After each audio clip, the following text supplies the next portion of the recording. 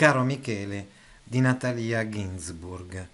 Caro Michele è un romanzo di Natalia Ginsburg del 1973. Natalia Ginsburg è una, è una scrittrice nata nel 1916 e morta nel 1991. Su questa scrittrice noi abbiamo già fatto due video già presenti su YouTube. Uno, Inverno in Abruzzo, fa parte della raccolta Le piccole virtù raccolta di racconti e narra della esperienza del confino. Infatti Natalia Ginsburg e il suo primo marito Leone Ginsburg, che poi è stato ucciso dai tedeschi a Roma, eh, in precedenza erano stati confinati, cioè mandati in Abruzzo, appunto, al confino dal regime fascista. Ecco, ecco questo racconto eh, narra di questa esperienza. Eh, mentre il lessico familiare di Natalia Ginsburg è una, un romanzo, diciamo, autobiografico, è una sorta di diario di quella che è la sua famiglia, una famiglia piemontese, appunto eh, antifascista, e quindi della formazione soprattutto di Natalia e anche delle frequentazioni che avvenivano in questa famiglia con personaggi di spicco eh, della cultura antifascista, in generale della cultura italiana della prima metà del Novecento. Su questo libro, che abbiamo detto essere un libro del 1973, eh, da questo libro è stato tratto, eh, questo libro ha ispirato un film, un film del 1976 diretto da Mario Monicelli e che per il solo fatto di avere come protagonista nel ruolo di Mara Mariangela Melato è un film, un film pregevole perché Mariangela Melato è in grado veramente di una giovane, giovanissima Mariangela Melato è stata in grado di rappresentare mh, il personaggio di Mara eh, con tratti veramente mh, schietti, ecco, vivi, vivaci. Queste sono le opere principali di eh, Natalia Ginsburg. Uh, l'ultima vediamo che è postuma e ce ne sono tante. No, io vorrei solamente farvi notare una cosa, che molte di queste opere hanno in sé la parola famiglia oppure un termine attinente alla famiglia. Abbiamo già visto il lessico familiare, ti ho sposato per allegria, famiglia, famiglia Manzoni, eccetera. Abbiamo già visto anche come eh, le due opere eh, che ho già commentato eh, su YouTube ci rappresentano un po' quello che è il modello di famiglia, sia della famiglia di origine di Natalia Ginsburg, sia della famiglia che lei aveva costruito e costituito con suo marito Leone Ginsburg, tant'è vero che poi ha mantenuto il cognome d'arte di suo marito anche quando suo marito è morto. Poi si è risposata felicemente Natalia Ginsburg con un altro intellettuale, però ecco, ripeto, eh, ci sono delle opere evidentemente in cui la famiglia viene tratteggiata come un modello, se vogliamo. Non è il caso di Caro Michele. Anche in questo romanzo diciamo che protagonista è la famiglia, però se ne coglie tutta la crisi. Ecco, ad esempio, proprio a questo proposito, leggiamo un brano tratto da un altro testo, dove si chiede appunto Natalia, che cos'è una famiglia? si chiede la scrittrice è un punto dove un gruppo di persone sta insieme, in una casa o in una stanza o in una roulotte. Si formano fra loro legami che possono essere forti o deboli, labili o tenaci. Da quel punto il bambino guarda il resto del mondo. Le famiglie possono essere pessime, repressive, ossessive o indifferenti, disamorate o distratte o tossiche, tarate, verminose molto spesso lo sono, però a un bambino sono necessarie.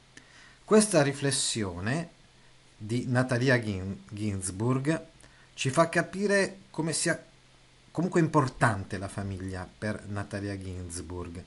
Qui infatti questo brano è l'ultima difesa della famiglia, così ci viene presentato in questa presentazione di PowerPoint che abbiamo trovato sul web. Però proprio per il fatto che così mh, pone così fiducia nella famiglia, Natalia Ginsburg, cioè li riconosce no, la, la, necessità ecco, dei legami familiari, l'importanza dei, dei legami familiari, nel caso in cui, come accade in questo romanzo di Caro Michele, invece questi legami siano così deboli, labili, appunto tossici anche un certo, da un certo punto di vista almeno, eh, rende eh, questo romanzo molto amaro, ecco, un po' pessimistico. Ecco. Eh, questo romanzo fa parte di una sorta di trilogia di romanzi romani. Infatti la famiglia in questione è una famiglia romana e quindi è da accostare ad altri due testi che sono appunto altri due romanzi, insomma, ambientati a Roma, che sono uno che si intitola proprio, si intitola proprio Famiglia del 77 e l'altro La città e la casa dell'84. Leggiamo ancora qualche altro brano per capire bene eh, qual è il pensiero di Natalia Ginsburg sulla famiglia. Dice per esempio Titina, uno dei suoi personaggi in La segretaria. Sì, le famiglie. Ogni famiglia era una specie di guscio chiuso. Adesso non ci sono più le famiglie. Chi va, chi viene. Le porte sono sempre aperte a tutti. Bisogna occuparsi del primo venuto come se fosse un tuo stretto parente. Gli estranei vengono in casa tua e fanno il nido. Ecco qui vediamo una rappresentazione più disincantata che è anche un po' quella che emerge eh, dal romanzo eh, Caro Michele. Da Caro Michele in poi, infatti, la Ginsburg non smetterà più di sventrare la famiglia e di farla a pezzi, con gioia non meno selvaggia e tribale di quella spesa per consacrarla, dice Garboli, quindi un critico, nella prefazione alle opere di Natalia Ginsburg che Caro Michele rappresenta una svolta.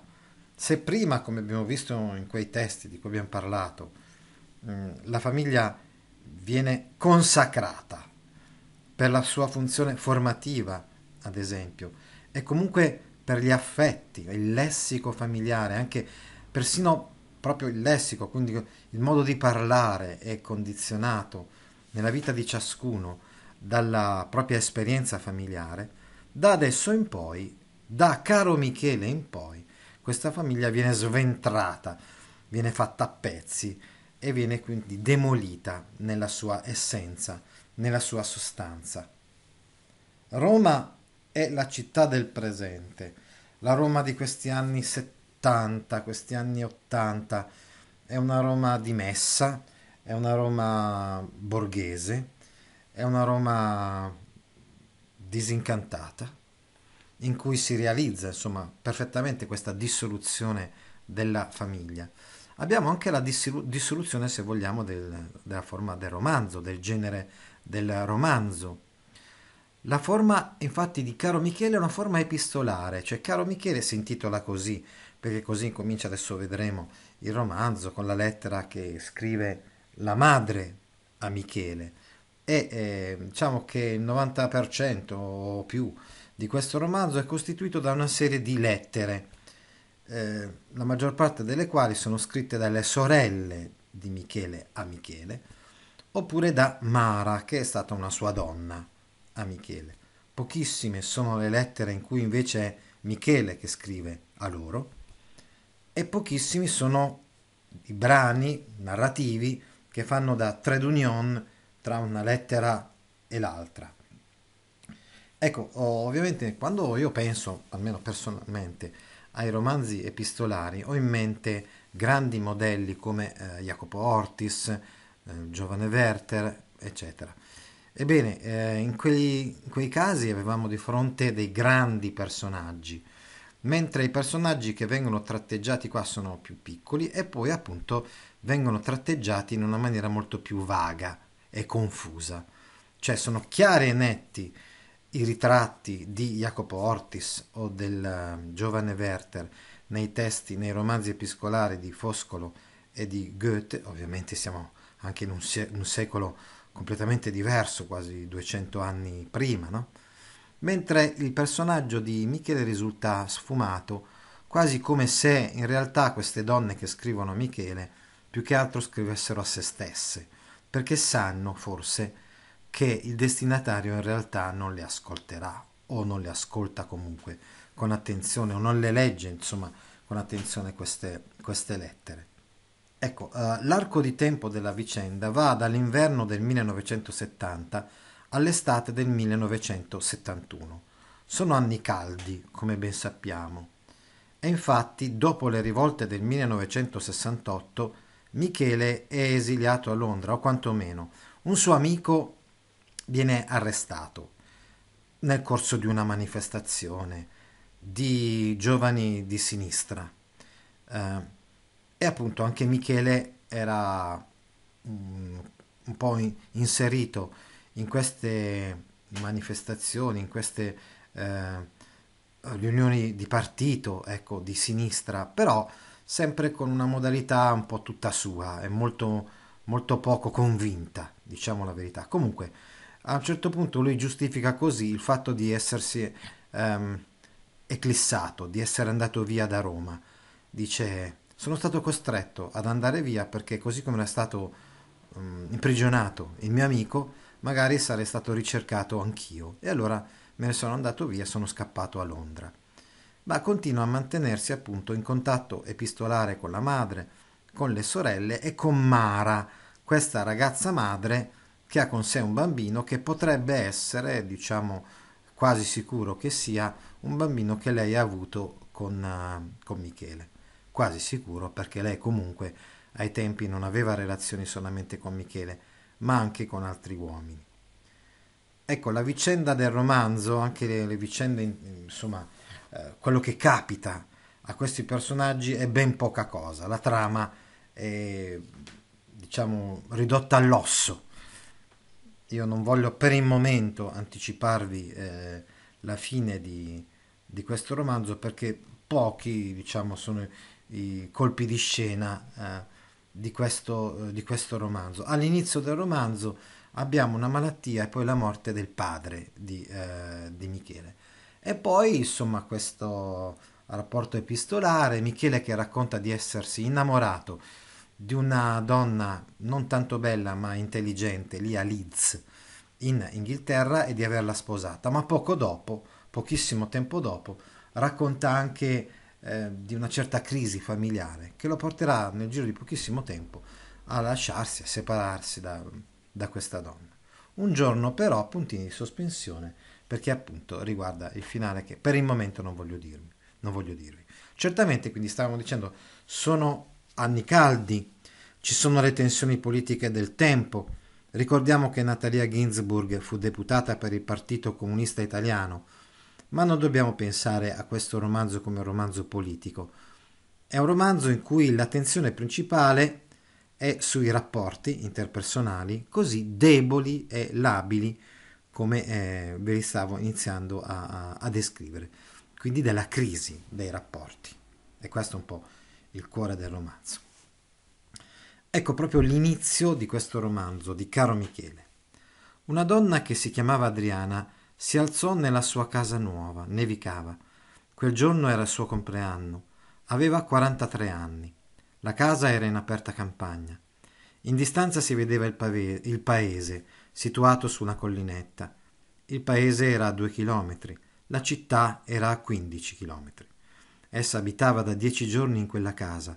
Infilò una vestaglia di velo color tabacco. Ecco l'inizio, l'incipit del romanzo, brevemente tratteggiata la madre di Michele, una quarantenne, a 43 anni, mentre Michele è un ventenne, che adesso lei insomma, va ad abitare poco lontano comunque da Roma. Cacciò i piedi lunghi e magri in un paio di pantofole color tabacco, slabbrate, con un bordo di pelo bianco molto frustro, frusto e sudicio. Scese in cucina e si fece una tazza di orzo bimbo e ci inzuppò diversi biscotti. Sul tavolo c'erano delle bucce di mela e le radunò in un giornale destinandole a dei conigli, che non aveva ancora, ma aspettava, perché gliele aveva promessi il lattaio.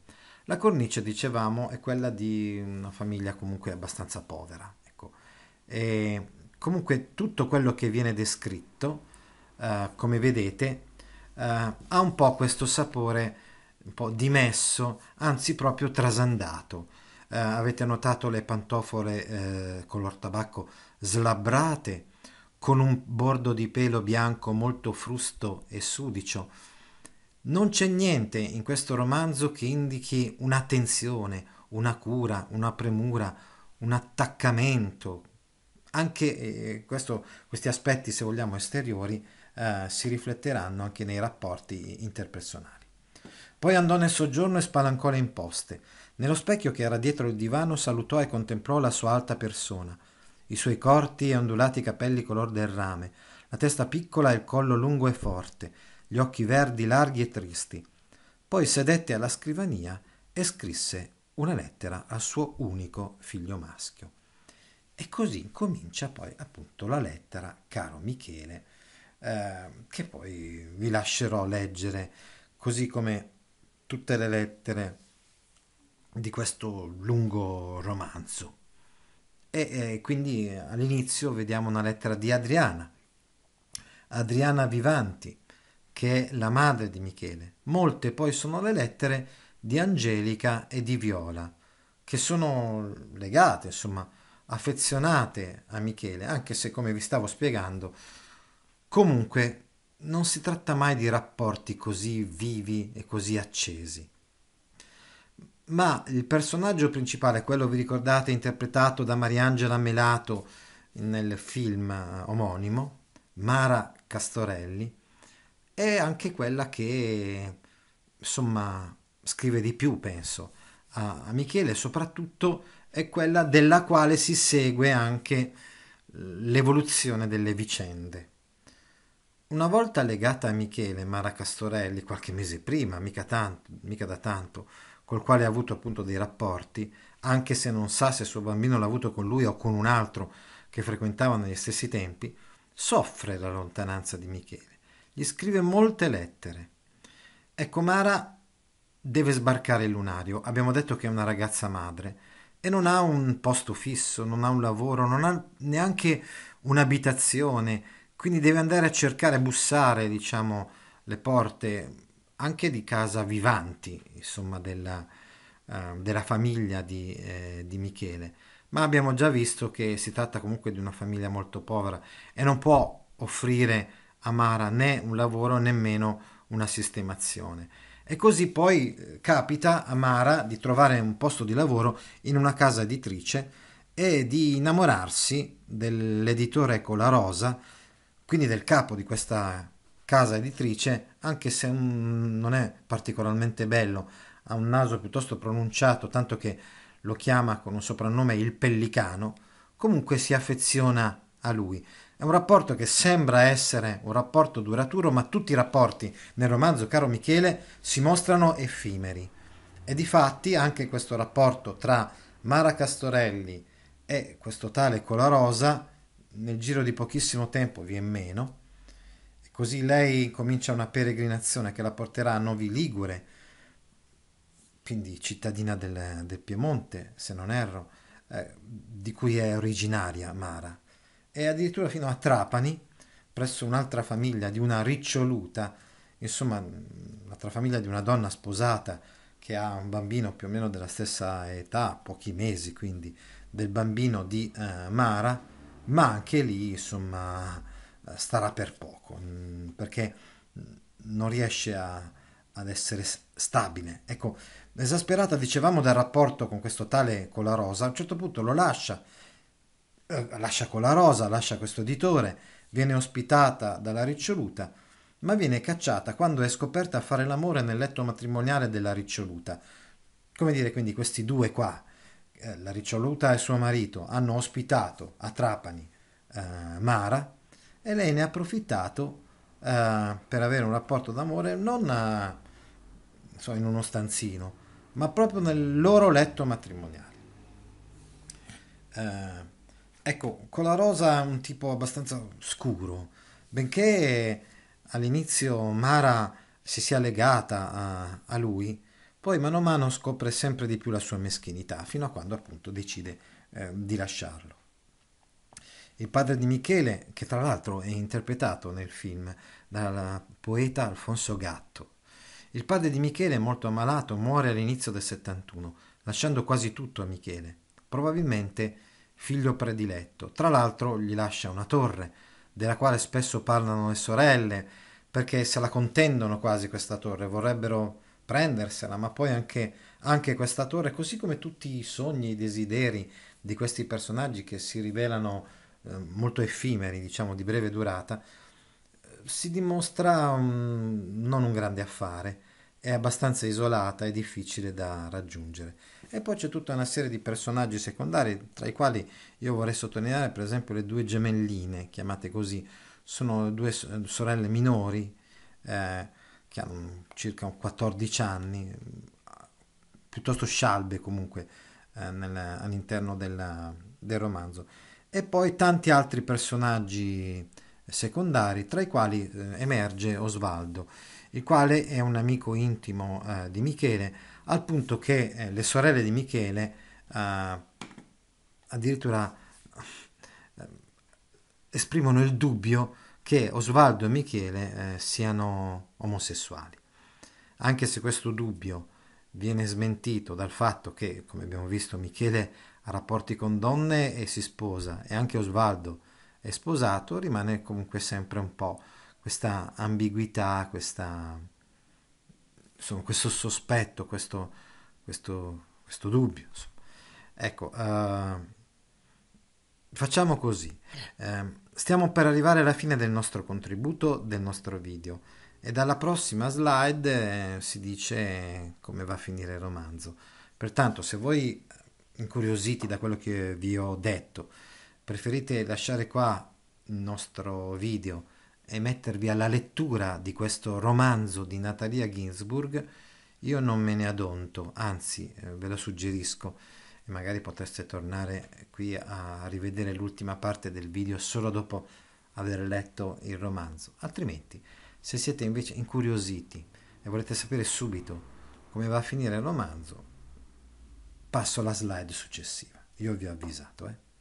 Ebbene, il, succede una cosa abbastanza bizzarra e poco inspiegabile, come tutto quello che riguarda Michele, perché tutto quello che riguarda Michele è abbastanza nebuloso e, e, e non viene, come dire, approfondito più di tanto personaggio di Michele, che rimane sullo sfondo perché, come vi ho spiegato, eh, abbiamo un, un, ritratto direi più, chia- più chiaro di, di, Mara, ad esempio, eh, dopo aver letto questo romanzo, che non di Michele, che pure è il destinatario di, di tutte queste lettere.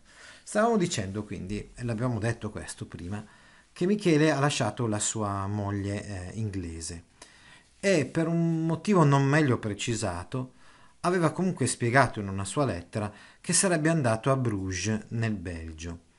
Poi attraverso un'altra lettera, la lettera di un, di un italiano insomma che Michele aveva conosciuto a Leeds e al quale Michele aveva dato l'indirizzo del, dei suoi familiari, le sorelle e anche la madre di Michele vengono a sapere che cosa è successo a Michele.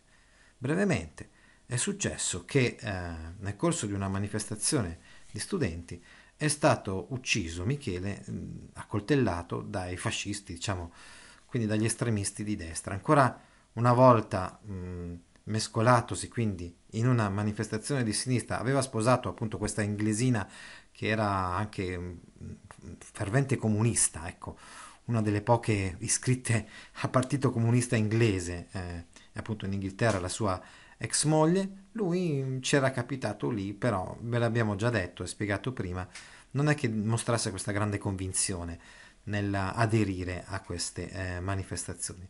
Sta di fatto che così, in una maniera piuttosto imprevista e eh, poco significativa. Michele ha perso la vita, lasciato lì sulla strada di, di Bruges eh, a morire da solo. E, e, i suoi familiari, le sue familiari, per la mamma, le sorelle, l'hanno saputo solo un po' di tempo dopo. Il romanzo comunque non termina a questo punto, ma registra ancora alcuni mesi in cui i protagonisti, le protagoniste soprattutto abbiamo detto, approfondiscono comunque il loro nichilismo e il loro scoraggiamento e vagamente ricompare comunque alla loro memoria Michele, come nel brano, uno dei brani conclusivi del romanzo che adesso leggeremo, che concluderà anche il nostro contributo. Caro Michele, ovvero il requiem della memoria. Ecco, il romanzo potrebbe essere anche una riflessione su qual è il lascito, qual è l'eredità che può lasciare un uomo che, come abbiamo detto, eh, non ha più di tanto eh, impresso un'orma significativa, neanche direi nelle persone che più eh, gli sono state vicino. Leggiamo allora questo brano. I ragazzi, siamo nella pagina, vedete, 495-496 del romanzo. O comunque, insomma, una delle pagine finali ecco, del romanzo. Che questo è tra, sono pagine anche un, dell'opera omnia, insomma, delle opere di Natalia Ginsburg. I ragazzi oggi non hanno memoria e soprattutto non la coltivano. E tu sai che anche Michele non aveva memoria, o meglio non si piegava mai a respirarla e a coltivarla. A coltivare le memorie ci siamo forse ancora tu, tua madre e io, e Mara, che abbiamo, come abbiamo spiegato prima, Mara Castorelli, è anche quella che scrive la maggior parte delle, delle lettere e spesso si rivolge alle sorelle, oltre che a Michele. Adesso che però Michele è morto, eh, scrive ad una delle sorelle. A coltivare le memorie ci siamo forse ancora tu, tua madre Adriana, e io. Tu per temperamento, io e forse tua madre per temperamento e perché della nostra vita presente non c'è nulla che valga i luoghi e gli attimi incontrati lungo il percorso. Ecco, vivono di memorie perché la loro vita presente non è così significativa, mentre le sorelle poi si sono sposate, eh, le sorelle, dico non le gemelline, no, ma le altre due, si sono sposate, si sono fatte una vita un po' più significativa, invece Mara e anche la madre di Michele vivono ormai in solitudine. Mentre io li vivevo o li guardavo quegli attimi e quei luoghi, essi avevano uno straordinario splendore, ma perché io sapevo che mi sarei curvato a ricordarli Potrebbe essere anche Osvaldo a scrivere questa lettera. Infatti ci sono delle lettere anche di Osvaldo. Eh. Mi ha sempre addolorato profondamente che Michele non volesse e non potesse conoscere questo splendore e andasse avanti senza mai voltare la testa indietro. Credo però che lui contemplasse questo splendore dentro di me e tante volte ho pensato che forse mentre moriva egli ha in un lampo conosciuto e percorso tutte le strade della memoria e questo pensiero è per me consolante perché ci si consola con nulla quando non abbiamo più nulla. E perfino aver visto in quella cucina quella maglietta cenciosa che non ho raccolto è stata una strana, gelida, desolata consolazione per me. Anche Osvaldo è un altro personaggio che ha perso tutto. Sposatosi, poi anche il suo matrimonio è andato in crisi, come tutti, abbiamo visto quasi tutti, no? i rapporti eh, ad esempio matrimoniali, che, di cui si parla in questo romanzo, perché è un po' questo, direi, il, mm, l'insegnamento uh, di questo romanzo. Un romanzo realistico, un romanzo che presenta in un modo assolutamente non idillico, non idealizzato, ma appunto in un modo, oserei dire, oggettivo, no? uh, il modo di vivere eh, della gente che eh, Natalia ha conosciuto, della maggior parte della gente che Natalia ha conosciuto. Insomma, questo romanzo sembra essere la dimostrazione che la vita è fatta di assenza, lontananza, mancanza, come quella appunto di Michele, che teoricamente dovrebbe essere il protagonista di questo romanzo, ma è il grande assente, il grande lontano. E poi anche la vita è estremamente banale. La, tra gli esseri viventi, tra gli esseri umani, prevale l'incomunicabilità. Gli esseri umani sono quindi profondamente, essenzialmente soli e cercano solo disperatamente di mascherare questa solitudine.